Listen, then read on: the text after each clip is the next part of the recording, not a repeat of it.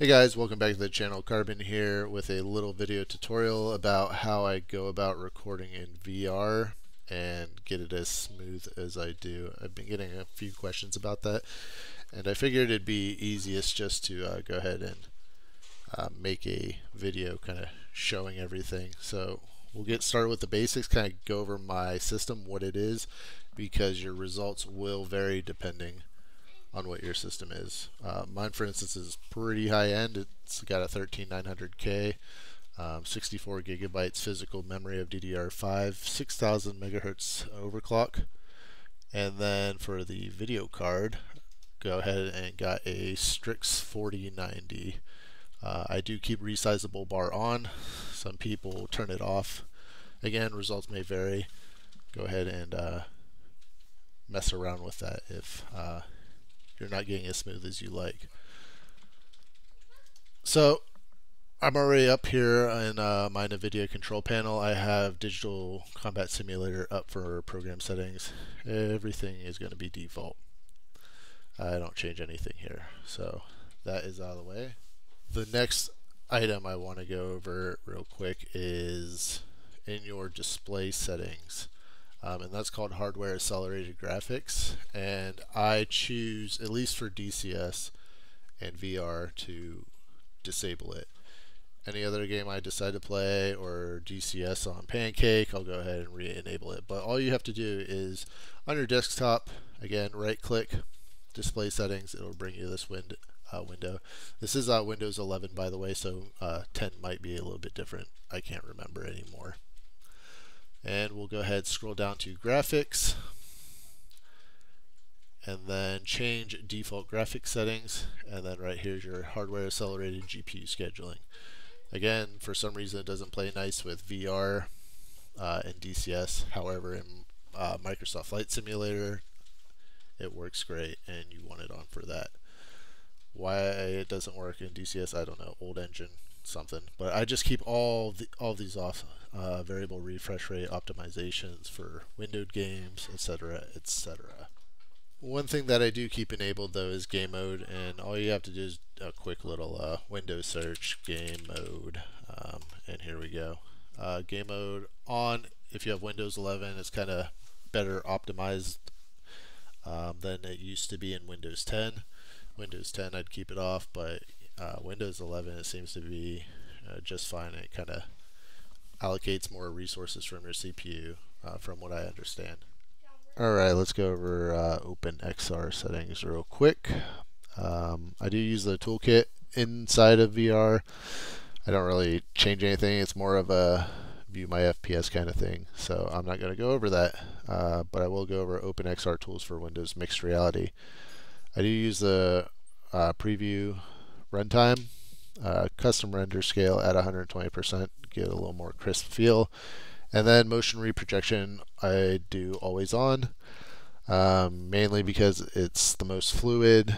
Um, it locks me at 45 FPS, however, it does inject a fake frame, so to speak. So every other frame is going to be a fake one. Do the math 45 times 2, that's 90, so 90 FPS.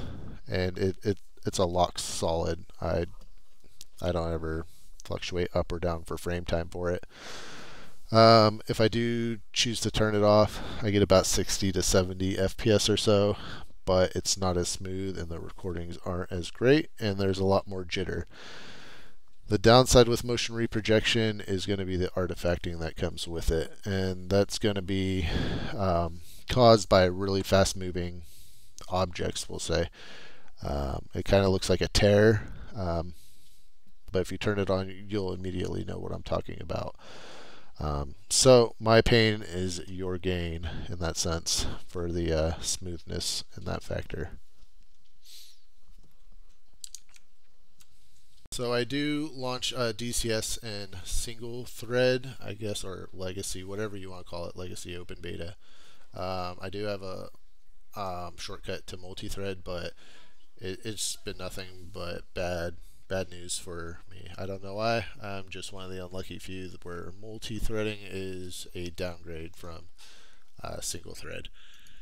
I do launch it in OpenXR, um, and how I do that is I go to the properties here, and target, I add this little line right at the end of the exe, force enable VR, force open XR. And what that does is when I have my Reverb G2 hooked up and powered on and Windows Mixed Reality up, all I have to do is click on the icon and it'll automatically launch into DCS. No Steam VR, uh, but it will be an Open VR or Open XR and it'll uh, launch right in. So I'll go ahead and open this up uh, real quick.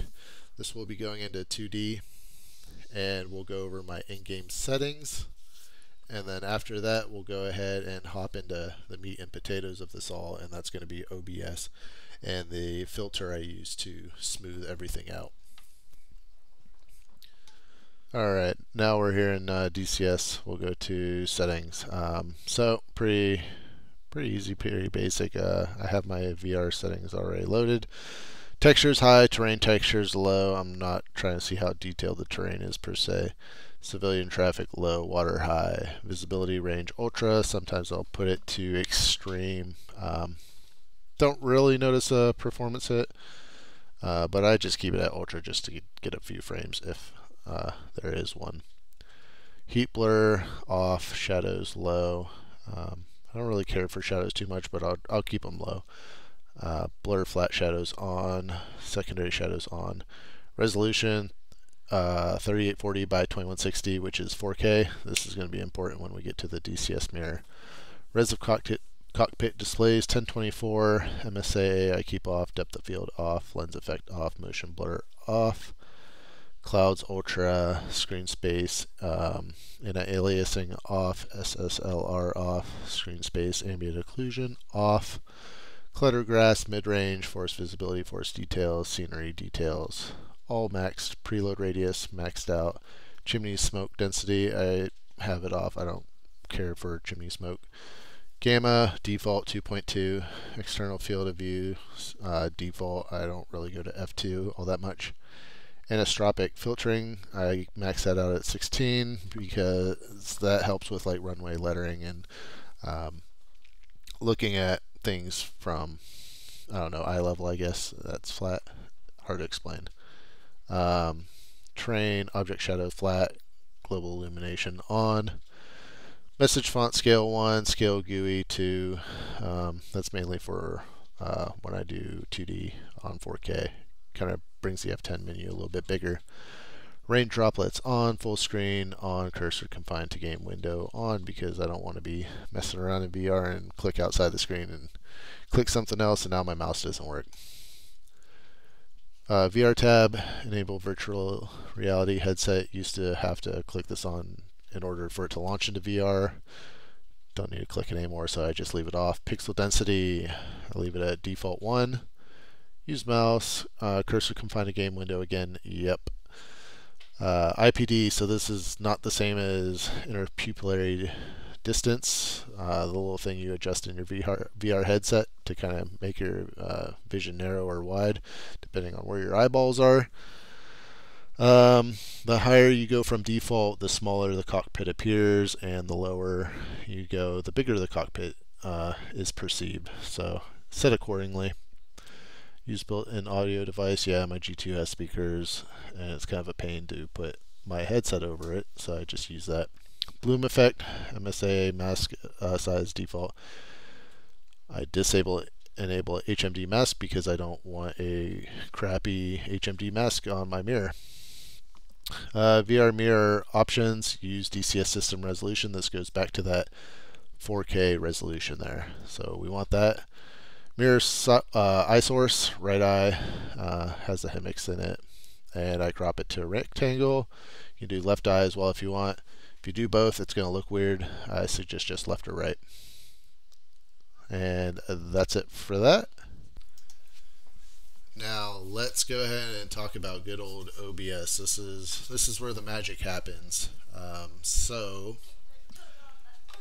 what you do first, um, I'm going to assume everyone at least knows how to at least set up a scene and then your source. So your scene is your main group of sources.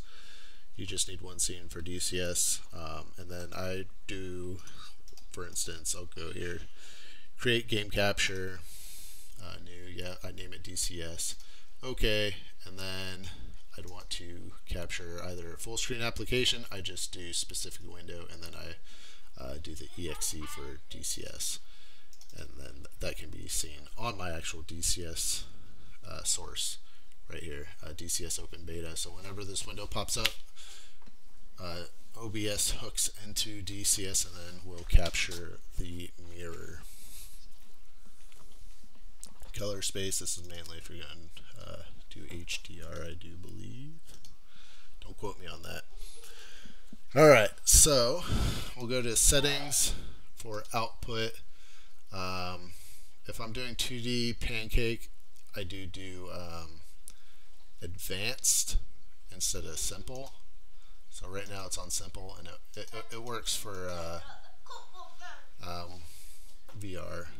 Um, for doing my 2K, 4K videos, I do tinker around with it uh, for Pancake. But anyway, you just uh, set your recording path where you want your videos to go. Recording quality, I uh, select indistinguishable quality, large file size. It, the, the videos do get pretty big. Hour and a half mission can go upwards of 20 gigs, uh, 20 to 30 gigs pretty easily. MKV recording format, I used to do MP4, however, um, OBS sometimes crashes, and if it crashes, your file is going to get corrupted as a MP4. Whereas if it's MKV, it'll at least stop where you crashed, and you'll still have all the footage before that encoder. It's just the hardware encoder NVENC, um, which comes with uh, NVIDIA GPUs. And that's really all there is to that. Audio, um, I do change this to whatever my VR headset is. It usually comes up as like USB Realtek 2.0 um, for desktop audio, and then Realtek 2.0 microphone for um, mic for my uh, VR headset. Video, so my mirror is 3840 by 2160p. I do downscale to 1080p, uh, 1920 by 1080. Downscale filter, I prefer this Lanczos, uh, sharpening scalings, 36 dimples. Why? I, I don't know. I, I'm just, it's just more preferable to me. I don't really have a reason. It's just what I like. And then uh, common FPS values, I just set that at 60. Hotkeys, uh, not a whole lot. I do have a push to talk when I do uh, record, and that's Control X, which I have um, mapped to a little program called JoyToKey, so I could use my throttle, um, my SRS uh, COM1, COM2 buttons. That'll translate it to a Control X, and it'll allow push to talk on OBS. Um, and that's really it for the settings in OBS. I do want to say if you are recording in VR, make sure you do run OBS, and this is important as administrator. Um, this used to crash all the time on me until I did that. Once I started running it as administrator, I have yet to get a uh, crash, and all my videos have been turning out all right. Now, the, the secret sauce, so to speak, for the uh, smoothness it's going to be called a it's going to be a filter and it's called LKV video stabilizer. And um, what you do is you download a suite of LKV um, different uh, filters it's just going to be the video stabilizer. So where do you get the stabilizer? Well you can just Google LKV video stabilizer to Google. And it'll be this GitHub link right here which I'll go ahead and open up I will go ahead and post this link in my description for you guys so that you can just uh, click it and then come right to here. There's an installation guide, but I'll, I'll kind of show you how to install it real quick. So what we want is download the latest OBS plugin release. So we'll click this link, and this will this will be the link I um, I'll be uh, linking. So then we'll go to Windows Zip, download. I already downloaded it earlier uh, for the purposes of this video. So let's see, go to Documents, uh, Downloads, and it'll be in a encrypted, uh, zipped up file. Uh, just go ahead and extract that, extract all. Down to your uh, downloads, that's fine. And you'll get a folder icon without the little zip. All you have to do, open it up and copy this. And then you go to your OBS directory where it's installed. Generally, it's in your program files of your C drive. Go here, OBS Studio. All you do is uh, paste. I'm not going to do it here, but that's all. That's all you do. Uh, paste it, and then you should be set. Uh, Live Vision kit is then installed. So LKV video stabilizer. So default smoothing radius is something like 10. I crank it all the way up as far as I can go, all the way to 20. When you do that, it's going to cause a stream delay of 350 milliseconds, and we'll come back to this because we're going to have to adjust our audio for that. Crop is a default 5%. You can crop up to 10%, and uh, the more you crop, the more it'll get smooth per se, but the less actual um, field of view you have. Motion model, uh, dynamic affine and homography use homography and then suppression mode strict and that's all you really have to do for the filter. Once you do that you are good to go. You are now set up ready to record. You can have your smooth VR recordings. Hopefully again results will vary depending on what your um, system specs are exactly but I do hope that this helps you out. So um, let's see, I got a recording from the other night here. VR. Um, Wait, not. Chat. so Getting it's- spiked. It's pretty smooth. Yep, you hit what I was looking at. Alright, I'm, I'm good. One, two. out. So I hope this does help. If it does, please uh, leave a like, uh, maybe subscribe, and hopefully this little video here I'll get uploaded here soon. And then it, I'm going to go ahead and uh, upload Bogey Dope's campaign of Saber One Flight here in the future. I hope you all have a good day, and we will catch you in the next one. See ya.